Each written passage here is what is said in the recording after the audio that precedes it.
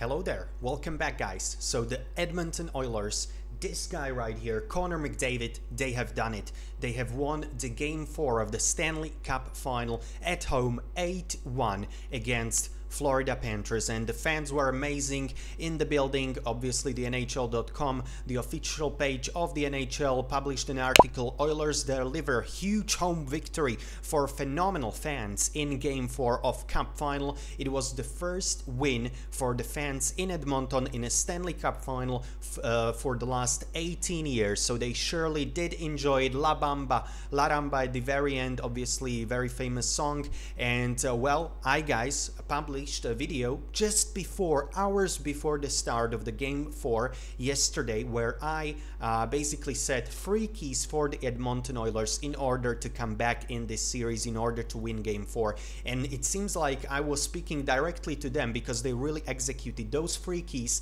You can check out my uh, video from yesterday. Key number one, I have been saying this, guys. Key number one, the top guys need to start producing. Connor McDavid, Leon Draisaitl, and other top guys, uh, along with Zach Hyman and Ryan Nugent-Hopkins, they were very influential, but obviously especially Connor McDavid with four points and breaking the historic record of Wayne Gretzky. So check mark there. Top guys started producing in Game 4. The power play needed to start going. They scored a goal on a power play in Game 4. First power play goal for the Oilers in the Stanley Cup final. Obviously, they got a gift there from the Panthers, uh, the two roughing penalties and a 5 on 3, but still, they scored a power play goal, check mark there. And my key number 3 was that Sergei Bobrovsky needs to have a sloppy game. And well, guess what happens? Uh, Bobrovsky did have a sloppy game there. He, uh, from out of 16 shots, he uh, had uh, or he allowed five goals. So a sloppy game for Bobrovsky, who was after the five goals at the beginning of the second period out of the net.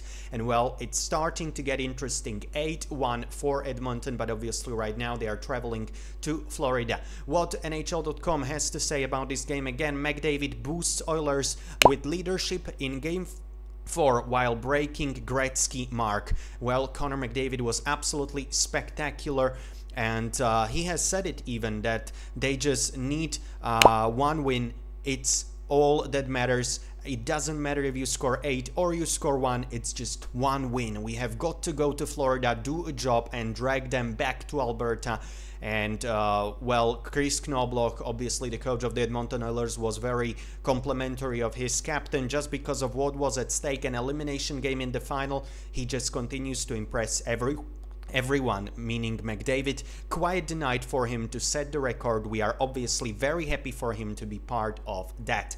And I really just love the atmosphere, guys, and especially this photo right here. The Edmonton Oilers and the banner right there, yellow banner, we believe. The Edmonton Oilers, they surely do believe that the Oilers eventually can come back.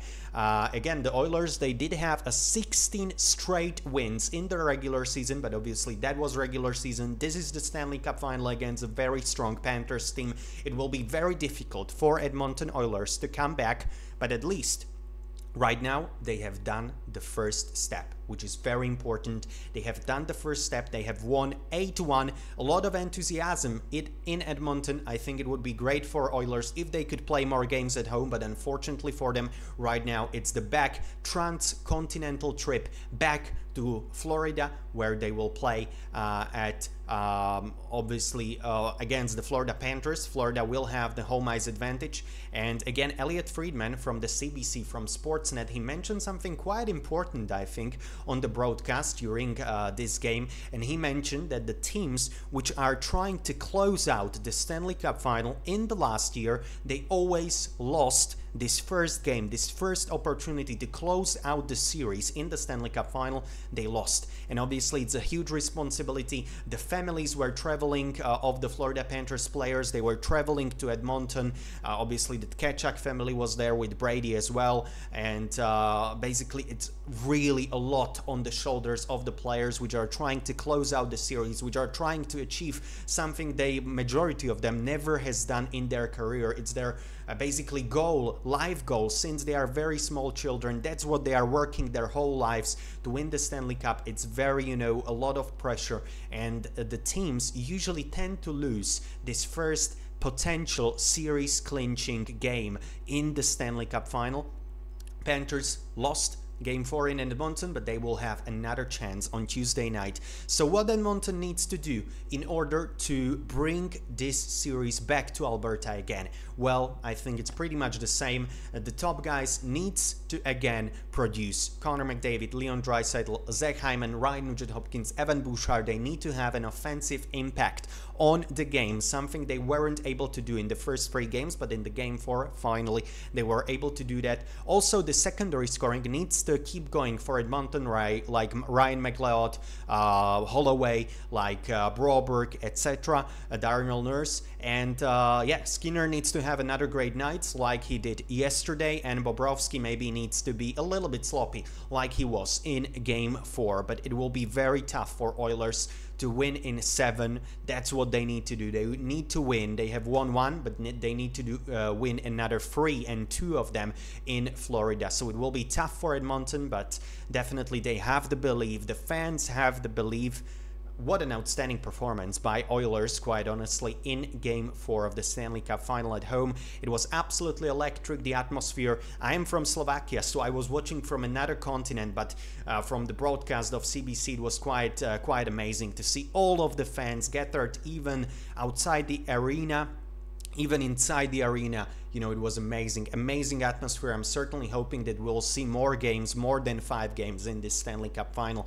Hopefully seven. Hopefully, uh, let's see the most uh, amount of games uh, as it is right now possible. But again, tell me, guys, what do you think in the comments? Do you think that the Oilers will be able to come back? That the top guys, Connor McDavid, will be able to uh, lift the Stanley Cup? Can they make a miraculous comeback? Only one team before was able to back in the Stanley Cup final from being 0-3 down, and that was Toronto Maple Leafs back in 1942.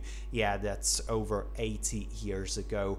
Well, Edmonton Oilers, they have a very tough ask. They have a very tough, um, you know, very tough um, assignment before them. But what do you think, guys? Will they be able to come back, or will just Florida snap the next game, win in five at home, uh, their first ever Stanley Cup in franchise history? Tell me in the comments, guys, who are you rooting for, and what do you think will happen next? Again, guys, thank you very much for watching. Hopefully you enjoyed this one. If you did, make sure to leave a like and comment and subscribe, guys, please, as I'm, I am trying to reach 500 subscribers. I appreciate every single one of you guys. Hopefully you have a great day, and I cannot wait till Tuesday. It will be Game 5, Stanley Cup Final.